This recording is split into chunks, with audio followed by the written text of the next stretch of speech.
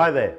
As a new principal, it won't surprise you to hear that I have some exciting plans in the pipeline for our students, and I would really value your support in making them happen.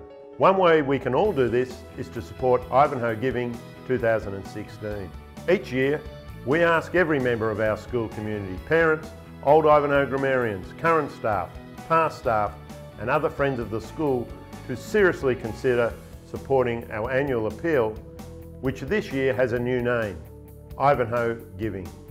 Ivanhoe Giving raises money for projects that will come to fruition in the short term and benefit our students. As you know, tuition fees only cover part of a well-rounded Ivanhoe education. The funds raised through Ivanhoe Giving help to bridge the gap, providing a vital and dependable source of financial support. Ivanhoe Giving is not necessarily about large gifts, but rather about participation. Ivanhoe Giving donations can range from a few dollars up to tens of thousands of dollars. All I ask is that you join in and give at the level you feel comfortable with. Be assured our students will have a better learning experience because of every gift, large and small.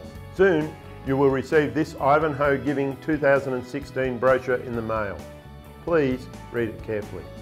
It outlines the projects you can support through your gift. Making a gift is easy. You can even do it online. My promise to you is that 100% of your gift will be carefully allocated to the cause nominated by you.